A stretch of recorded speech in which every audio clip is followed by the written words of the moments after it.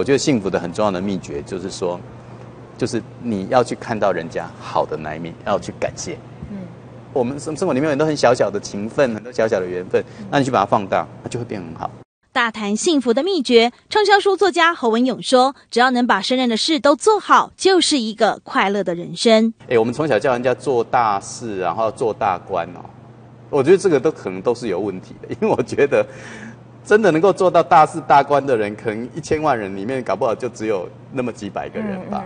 那其他人怎么办呢？是不是人生都都当废物了呢？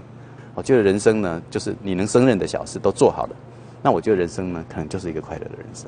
曾写过《危险心灵》，质疑台湾的教育体制。侯文勇对于孩子的教养也很有一套。父母亲常常要小孩子不落地的小孩，校车接送，送去补习，送去游泳，送去学才艺，送去考试，送去什么？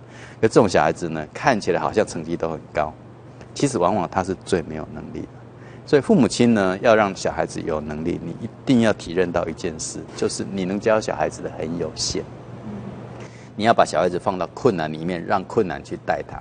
你要他学到的是能力，而不是分数。侯文勇的文学人生，侯文勇的幽默故事，全都在本周日晚间十点，影响力一百遇见侯文勇。一电视黄安晴事件中台北报道。